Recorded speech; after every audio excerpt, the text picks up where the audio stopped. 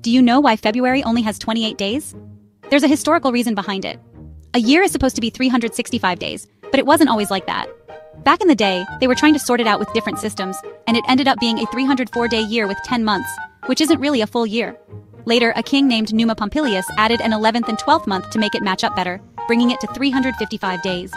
By adding those months, guess what? February was born. But even then, the calendar still wasn't right, and that's when the famous Julius Caesar stepped in to fix it all.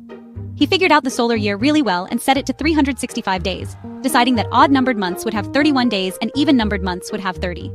To deal with the leftover days, he made February 29 days and added an extra day every four years, which finally made the calendar work perfectly. And because he was such an important guy, the month of July was named after him. But then Augustus, the guy who became emperor, wanted a month named after himself too. They wanted to make August feel special since they were born in that month, so they turned it into August Stello. But even though there are technically 31 days in the news, they couldn't stand only having 30 days, so they decided to skip a day from February. That's why February, which used to have 29 days,